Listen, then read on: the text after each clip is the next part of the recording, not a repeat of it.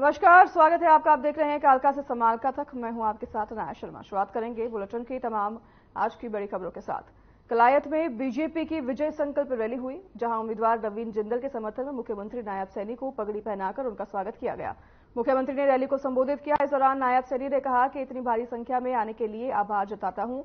वहीं अपना आशीर्वाद नवीन जिंदल को दीजिए। मैं आपसे आशीर्वाद मांगने आया हूँ। साथ ही मुख्यमंत्री ने विपक्ष पर निशाना साधा और कहा कि गली गली में शराब बेचने वालों से बचना है।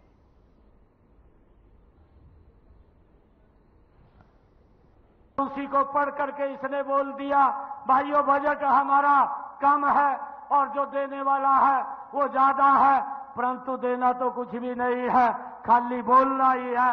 और बोल करके वोट लेने का काम करते हैं। इस बात को भी हमने समझना है। भाइयों, ये झूठ बोल करके लोगों को बरगड़ाने का काम करते हैं। भाइयों, मैं ये कहना चाहता हूँ, इन दस वर्षों के अंदर जो नरेंद्र मोदी जी ने काम किए हैं, इस देश की मजबूती के लिए, इस देश को आगे बढ़ाने के लिए हम देखते हैं। इन्हीं दस वर्षों में, भाइयों, ये फोर लाइनिंग रोड जो अंबाला से लेकर के सीधा ये आपके कलैश से होकर के हिसार राजस्थान को जाती है। ये भी बनवाने का काम इन दस वर्षों में नरेंद्र मोदी जी ने किया है। भाइयों, चाहे इस्माइलाबाद से लेकर के नारनौल, जयपुर सीधा बम्बे को जोड़ने वाला ग्रीनफील्ड एक्सप्रेस वे, ये भी बनाने का काम इन्हीं दस वर्षों में नरेंद्र मोदी जी की सरकार ने किया है। और भाइयों, चाहे हमारे कैथल के अंदर मेडिकल कॉलेज वो गति से बन रहा है।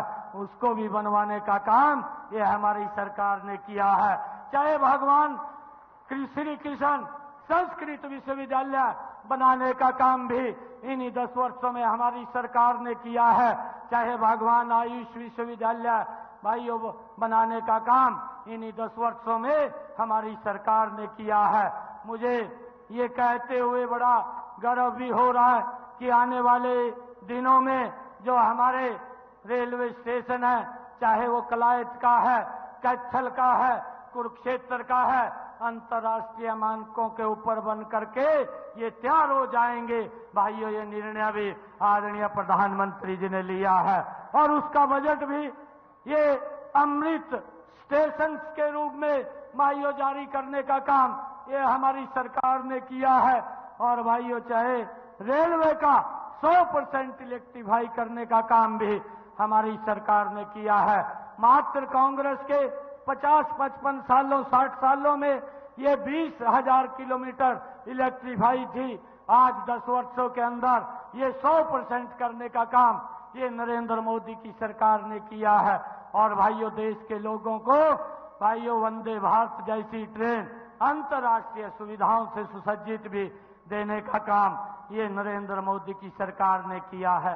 चाहे देश के अंदर एम्स बनाने की बात हो, भाइयों 24 नए एम्स बना करके देश को समर्पित करने का काम भी इन 10 वर्षों में नरेंद्र मोदी की सरकार ने किया है। भाइयों, आज देश गति से आगे बढ़ रहा है। आज चाहे प्रधानमंत्री वह फ़सल बीमा योजना है, उसके माध्यम से भी साढ़े बारह हज़ार करोड़ रुपया किसान के खाते में अगर फ़सल का खराबा हुआ है, पहुँचाने का काम भी इन दस वर्षों के अंदर हमारी सरकार ने किया है। भाइयों, मुझे एक खुशी है जितने कार्य नरेंद्र मोदी जी ने दस वर्षों में किए हैं, ये कांग्रेस ने पचपन साठ सालों में नहीं किए हैं। देश को जो गति विकास की दी है, आज अंतर्राष्ट्रीय स्तर के ऊपर भारत का नाम है। भाइयों, हम देखते हैं 2014 से पहले जब कांग्रेस की सरकार थी, भाइयों, दुनिया बोलती थी, भारत सुनता था, आज इन दस वर्षों के अंदर भारत बोलता है, दुनिया सुनती है। भाइयों, ये तब्दीली इस देश के अंदर, इन दस वर्षों के अंदर आई है। आज चाहे नौकरी की बात करें, ये कांग्रेस के लोग भाइयों किस प्रकार से नौकरी देते थे भाइयों एक एक नौकरी के लिए चक्कर काटने पड़ते थे। माँ बाप को चक्कर काटने पड़ते थे। गाँव के लोग मिलकर के जाते थे। मंत्री, विधायक, मुख्यमंत्री के पास जाते थे। परंतु अब जाने की ज़रूरत नहीं है। मुझे खुशी है कैथल का एक भी ऐसा गाँव नहीं है, जिस गाँव के अंदर से इन दस वर्षों के अंदर। भाइयों 200 से 300 50 से लेकर के 300 तक बच्चे बिना पर्ची, बिना खर्ची के हरियाणा सरकार के अंदर लगे हैं। और भाइयों, इन्हीं दस वर्षों के अंदर यह भी खुशी है, गरीब का बच्चा एस भी लग गया आईएएस भी लग गया आईपीएस भी लग गया, जो कल्पना से परे की बात है, बिना पर्ची, बिना खर्ची के हरियाणा सरकार में लग गया। भाइयों, ये कमाल अगर हुआ है, ये इन्हीं दस वर्षों के अंदर हुआ है, इस बात को भी हमने समझना है। मैं आप लोगों से एक बात कहना चाहूँगा कि अब ये जिम्मेवारी ये जिम्मेवारी आदरणीय नरेंद्र मोदी जी ने, आदरणीय अमित शाह जी ने, आदरणीय जगत प्रकाश नड्डा जी ने, आदरणीय ठाकुर राजनाथ सिंह जी ने और आदरणीय मनोहर लाल जी ने अब ये जिम्मेवारी मेरे को दी है, हरियाणा को आगे बढ़ाने की जिम्मेवारी।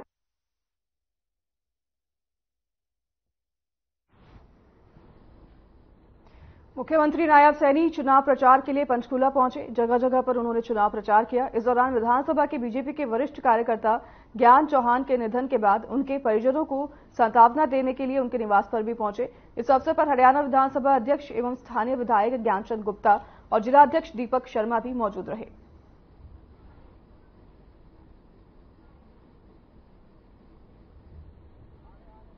पूरे हरियाणा प्रदेश के अंदर हर बूथ, हर गाँव अभियान के तहत नरेंद्र मोदी जी ने जो 10 वर्षों में काम किए हैं, उन सब कामों को लेकर के जो एक योजनाबद्ध तरीके से व्यक्ति तक लाभ पहुँच रहा है उन सब की चर्चा करते हुए और जो देश के अंदर पिछले दस वर्षों में एक देश का नई दिशा में गति से विकास हुआ है, जिसकी लोग चर्चा भी करते हैं और देश की समस्याओं का समाधान हुआ है।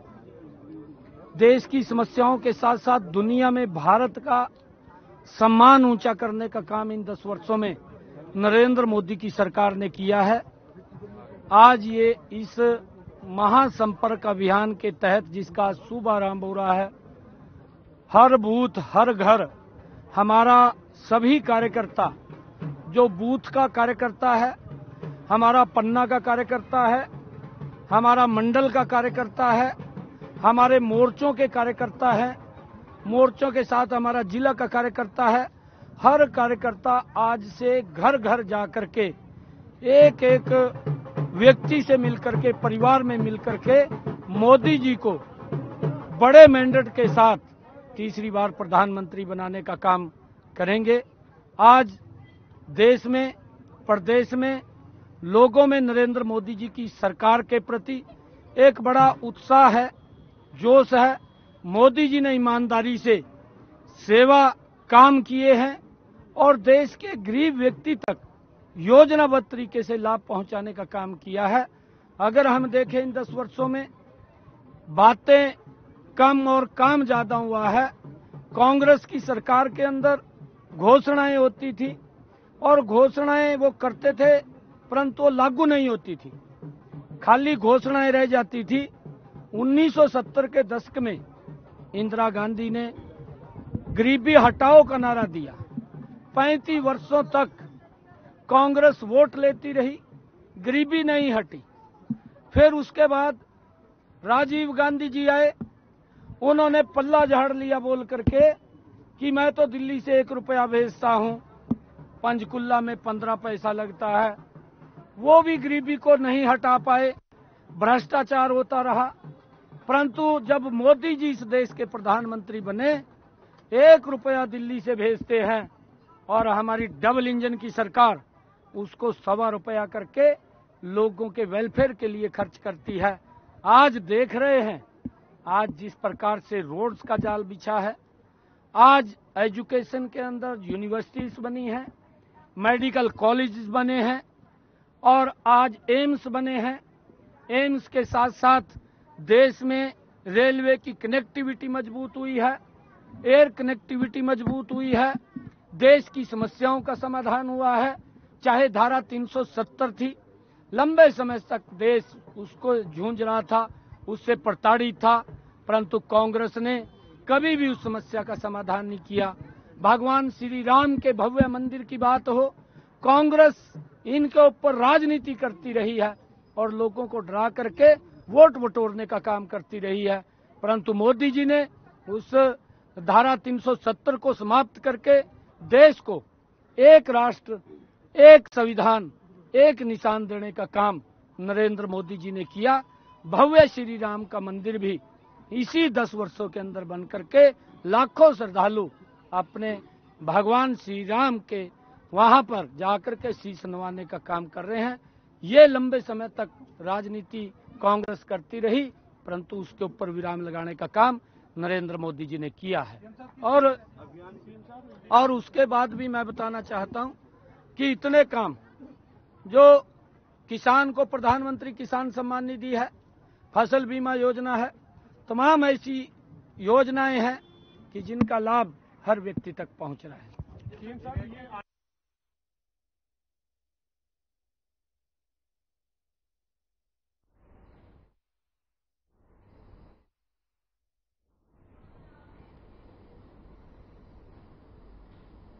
दिल्ली के मुख्यमंत्री अरविंद केजरीवाल को सुप्रीम कोर्ट की जमानत देने को लेकर हरियाणा के पूर्व गृह मंत्री अनिल विज का बयान अब सामने आया है। उन्होंने बयान देते हुए कहा कि जो जेल गया था, वो मुख्यमंत्री अरविंद केजरीवाल गया था और जमानत सिर्फ़ केजरीवाल की हुई है। मुख्यमंत्री अभी भी अंदर हैं, क्योंकि न तो मुख्यमंत्री के हस्ताक्षर कर सकते हैं, न ही मुख्यमंत्री के कार्यालय में जा सकते हैं।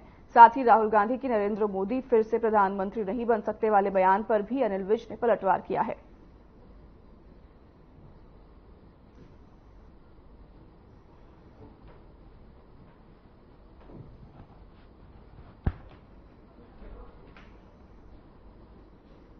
दिल्ली के मुख्यमंत्री अरविंद केजरीवाल को कोर्ट ने इक्यावन दिन बाद जमानत दे दी है, जिसको लेकर हरियाणा के पूर्व गृह मंत्री अनिल विज का बयान सामने आया है।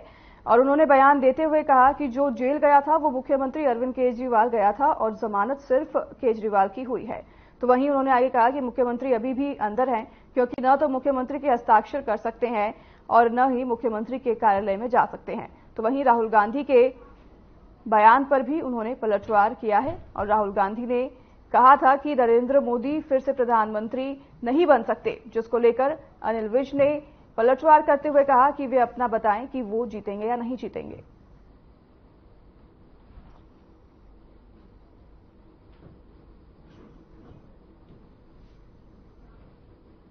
जो गिरफ्तारी हुई थी, जो जेल में गया था, वो मुख्यमंत्री केजरीवाल गया था।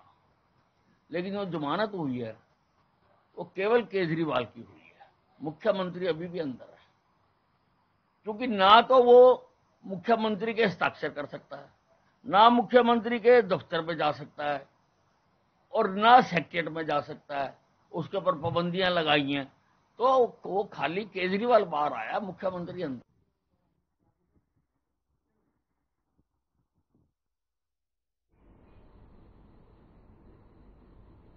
अंबाला के मठेड़ी शेखा कस्बे में पुलिस कार्रवाई से नाखुश होकर गुस्साए दुकानदार अपने दुकानों में बंद कर सड़क पर उतर आए हैं। दुकानदारों ने सड़क पर ही दरी बिछाकर रोष प्रदर्शन शुरू कर दिया। तो वहीं दरअसल 2 मई को मठेड़ी शेखा कस्बे से अपनी दुकान बंद कर घर जा रहे कपड़ा दुकानदार गगन नरूला पर नकाब पोष बदमाशों ने तलवारों से जानलेवा हमला कर दिया था। और ढाई लाख रुपए के साथ लैपटॉप लूट कर ले गए थे। आठ दिन बीत जाने के बावजूद अभी तक इस मामले में पुलिस के हाथ खाली हैं, जबकि दो बाइकों पर पाँच बदमाश वारदात के बाद सीसीटीवी में भागते दिखाई दिए थे। वहीं आरोपियों की गिरफ्तारी न होने से खफा सभी दुकानदारों ने रोषपूर्वक अपनी दुकानें बंद करने का फैसला किया। वहीं इस मामले पर नगल थाना प्रभारी ने बताया कि पुलिस की तीन टीमें इस मामले को सुलझाने में लगी हुई है। और जल्द ही आरोपियों को पकड़ लिया जाएगा।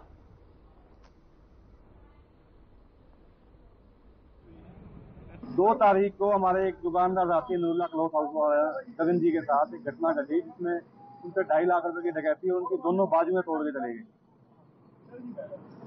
उस दिन भी हमने प्रशासन को एक रिक्वेस्ट की थी कि दोषियों के खिलाफ कार्रवाई की जाए और गिरफ़्तार किया जाए। बाद दस दिन बीत जाने के बाद ना तो किसी को गिरफ्तारी हुई है, ना ही इस बात का पता चल पाया, उनको कि कौन आदमी थे जो ये सब करके गए हैं, ये हरकत करके गए हैं। आज उसी के विरोध में एक बार फिर से सभी दुकानदार भाइयों ने अपनी दुकानें बंद करके ये धरना दिया है कि दोषियों के खिलाफ कार्रवाई की जाए और दोषियों को जल्द से जल्द पकड़ा जाए। अब ये कार्रवाई नहीं हुई, आज सात आठ दिन हो गए, ना तो चोर पकड़े गए ही आज तक। इसीलिए ये कार्रवाई हो, यहाँ पे जाम लगा के बैठे हैं। कार्रवाई होनी चाहिए। जो गुनागार है उनको पकड़ना चाहिए। क्या घटना हुई घटना इसको मार गए थे जोनी निरोला को उसके बाजू बूजू जो है सारी काट गए हैं उसमें राड़े पड़ी हैं। तो अभी तक कोई कार्रवाई नहीं नहीं पकड़े नहीं मेरा नाम काशवी नरूला है। मेरे फादर सेकेंड मे को शॉप क्लोज करके अपने घर आ रहे थे। फिर उन्होंने उनको, उनके पास कैश था लैपटॉप था तो कुछ चोरों ने उनको पकड़ लिया। उनकी काफ़ी चोट आई है और उनकी पूरी बाजू की सर्जरी हुई है। दूसरी बाजू में उनको 20 टू 22 स्टिचेस लगे हैं और हम बस यही चाहते हैं कि जल्दी से जल्दी चोरों को पकड़वाया जाए ताकि मेरे फादर को जस्टिस मिले। वो अब तक अपना बिज़नेस उनका बंद पड़ा अब तक वो अच्छे से चल नहीं पा रहे, खुद उठ नहीं पा रहे हैं। और पुलिस अब तक कुछ नहीं कर पाई। हम सिर्फ़ यही चाहते हैं कि उन्हें जस्टिस मिले, चोर पकड़ समझाया जा रहा है कि पुलिस इस मुकदमा में काफ़ी अच्छे से कार्रवाई कर रही है। हमारे एसपी साहब की तरफ़ से श्रीरन राव जी की तरफ़ से तीन टीमें बनाई हुई हैं और सीआईए वन की, की टीम है थाना की भी हमारी एएसपी मैडम सृष्टि गुप्ता भी इसी में लगे हुए हैं लगातार मॉनिटरिंग कर रहे हैं और जो सस्पेक्टेड पर्सन है उनको, उनसे पूछताछ की जा रही है सीसीटीवी कैमरे हैं और जो भी साइबर की हल लेके कार्रवाई की जा रही है। और इनको समझाया जा रहा है कि भाई, देखो, किसी भी तफ्तीश के मुकदमे टाइम लगता है तो जल्दी आरोपियों को गिरफ़्तार करने के लिए हर संभव प्रयास किया जा रहा है।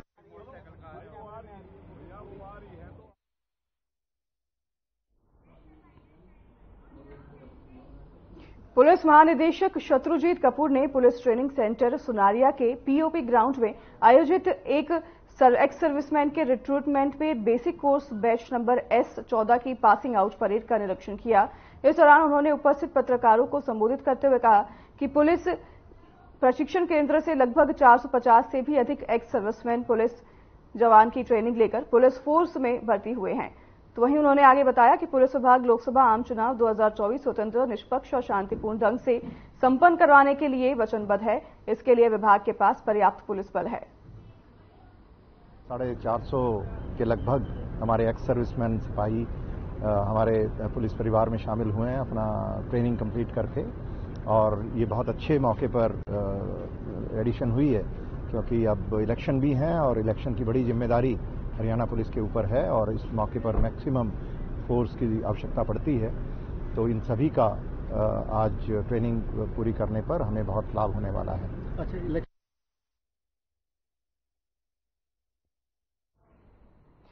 मतदान प्रतिशत बढ़ाने और मतदाताओं को जागरूक करने के लिए तरह तरह के अभियान चलाए जा रहे हैं और मतदाताओं से अपील की जा रही है कि वो पाँच वर्ष में एक बार आने वाले इस लोकतंत्र महापर्व में अवश्य भाग लेकर मतदान करें।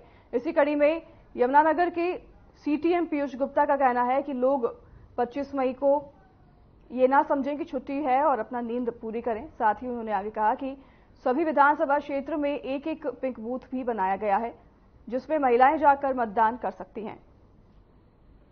इसके अलावा अन्य वर्ग भी यहाँ मतदान कर सकते हैं। इसी तरह दिव्यांग के लिए भी विशेष बूथ बनाए गए हैं।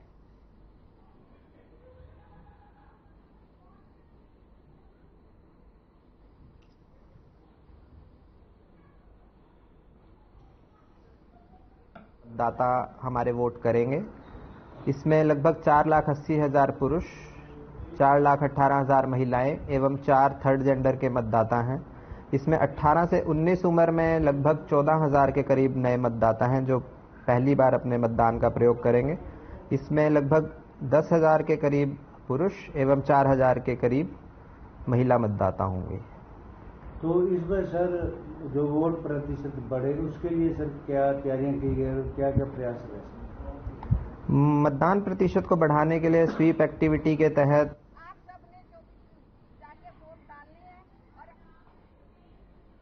तेज़ी से बढ़ रही गर्मी ने लोगों की समस्या बढ़ा दी है। बढ़ते तापमान के साथ साथ लोगों का घरों से बाहर निकलना भी मुश्किल हो गया है।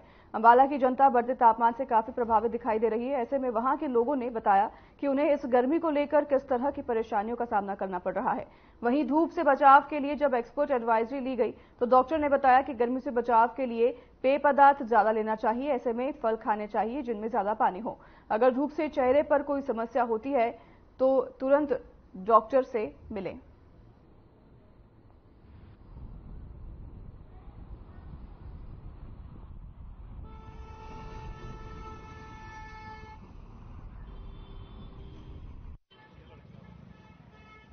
मेरा नाम शालिनी यादव है और इन दिनों बहुत ज़्यादा गर्मी हो रही है और इस कारण से हमारी बॉडी में भी डिहाइड्रेशन हो जाती है। हम लोग सुबह जॉब के लिए निकलते हैं तो धूप पहले तो फेस नहीं होती है।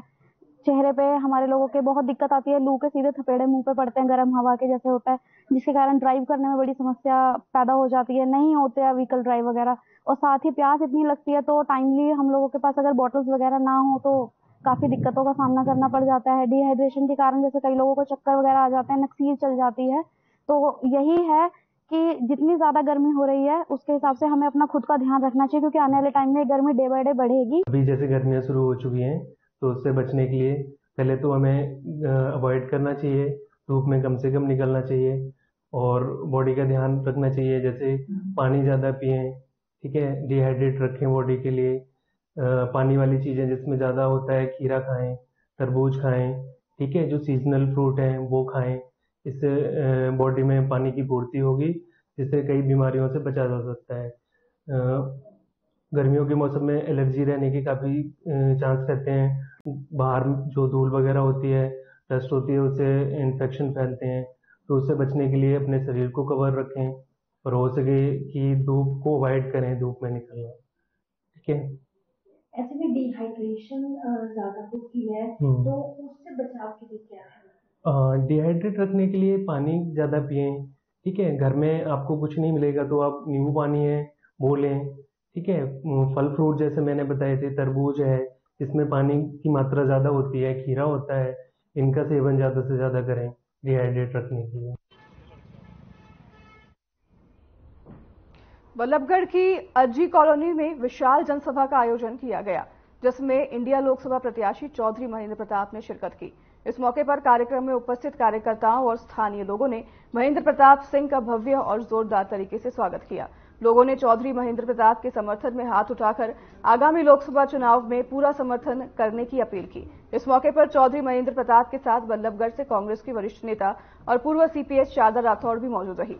मंच से संबोधित करते हुए चौधरी महेंद्र प्रताप ने बीजेपी सरकार और प्रत्याशी पर जमकर जुबानी हमला बोला। उन्होंने कहा कि पिछले दस सालों से लगातार बीजेपी के लोग देश और प्रदेश को लूटने का काम कर रहे हैं। विकास के नाम पर लगातार देश और प्रदेश पर कर्ज बढ़ता जा रहा है। तो वहीं उन्होंने पूर्व पीएम मनोहर, मनमोहन सिंह के कार्यकाल का भी बखान करते हुए कहा कि एक समय था जब पीएम मनमोहन सिंह की सरकार ने देश की अर्थव्यवस्था की बहुत बेहतर तरीके से चलाया था। और एक आज का समय है जहाँ हमारे देश पर आज करोड़ों का कर्ज हो गया है। अब जनता सब कुछ जान चुकी है और अब जनता बीजेपी की झूठी और खोखली बातों में नहीं आने वाली। जनता जो है, परिवर्तन कर रही है। जनता जाग जनता जाग चुकी है। जनता जनता परिवर्तन की दिशा में बढ़ रही है। इनके झूठे वादों को वो समझ चुकी है। जनता वास्तविक मुद्दों के आधार पर अब वोट देगी कि जनता करप्शन के खिलाफ वोट देगी इनके। जनता बेरोजगारी के जो आज बढ़ रही है उसके खिलाफ वोट देगी। जनता डेवलपमेंट के लिए वोट देगी। जनता जो है, अमन चैन के लिए। सारे झूठे हैं, चाहे पंद्रह लाख का नारा हो। स्मार्ट सिटी का नारा हो, काले धन का नारा हो। अब भूल गए सारी बातें। अब तो ना, ये विकास की बात करते हैं, या जनता की समस्याओं की बात करते हैं, अब तो हाथ जोड़ते फिर रहे हैं, और अनाप शनाप बातें करते फिर रहे हैं। लेकिन काट की हांडी बार बार नहीं चढ़ती है। काट की हांडी बार बार नहीं चढ़ती, जितना इनकी राजनीति हैवी थी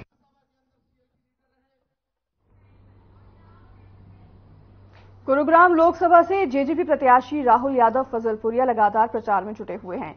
उन्होंने आज नूर ज़िले के एक दर्जन से ज़्यादा गाँव में जाकर लोगों के बीच पहुंचकर अपने लिए वोट मांगे। इस मौके पर राहुल फजलपुरिया ने कहा कि वे राजनीति में नाम कमाने नहीं, बल्कि लोगों के काम करने आए हैं। राहुल फजलपुरिया ने बीजेपी प्रत्याशी राव इंद्रजीत सिंह पर निशाना साधते हुए कहा कि पिछले 20 सालों में किसी भी तरह के विकास कार्य जो गुरुग्राम में होने थे, वे नहीं हुए, और वहीं कारण है कि आज हर एक वर्ग का व्यक्ति परेशान है। फजलपुरिया ने आगे कहा कि इस बार लोगों ने उन्हें आशीर्वाद देकर संसद तक पहुँचा दिया।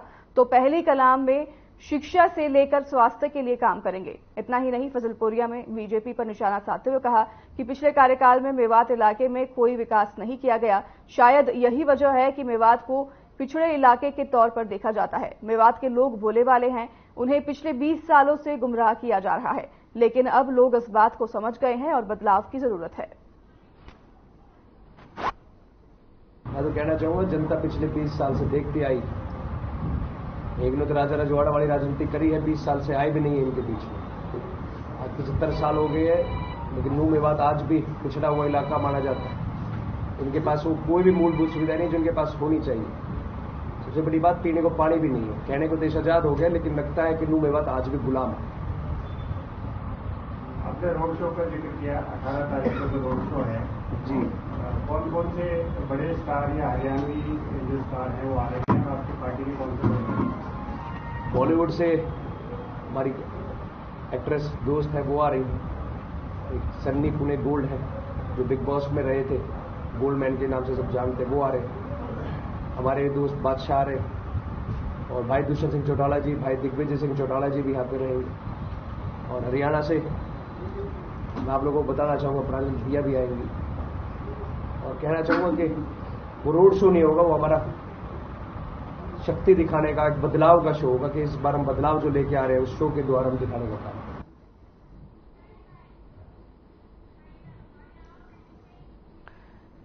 तो हर खबर हरियाणा देख रहे थे आप और फ़िलहाल इस बुलेटिन में हमारे साथ बस इतना ही। नमस्कार।